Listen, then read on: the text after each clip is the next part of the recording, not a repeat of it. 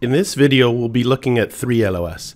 A. Demonstrate the application of the Code of Ethics and Standards of Professional Conduct to situations involving issues of professional integrity. B. Distinguish between conduct that conforms to the Code and Standards and conduct that violates the Code and Standards. And finally, C.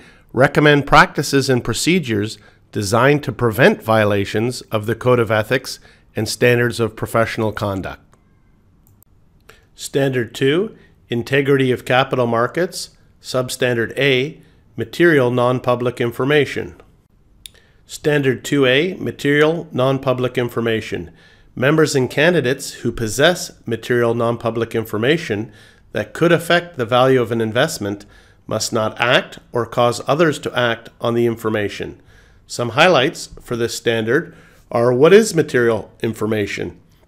What constitutes non public information? The mosaic theory, social media, using industry experts, and investment research reports. Guidance for Standard 2A Material Non Public Information. First, what is the definition of material? If disclosure of information would affect a security's price, or if an investor would want to know before making an investment decision.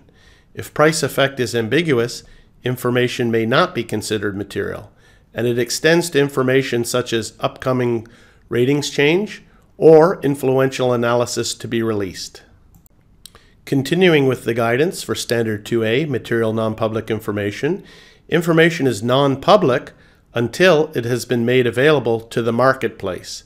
Information made available to analysts is considered non-public until it is made available to investors in general.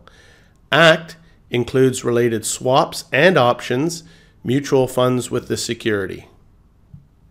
Continuing with the guidance, if you possess material non-public information, act as you would if you did not know.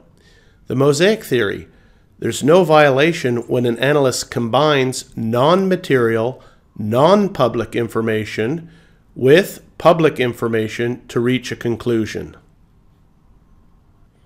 Recommended procedures for Standard 2A Material Non-Public Information. Information barrier or firewall is recommended to control interdepartmental communications. Information barrier includes use of restricted list, review employee trades, and finally, increase, review, restrict proprietary trading while firm is in possession of material non-public information. And that's the last slide for Standard 2A, Material Non-Public Information.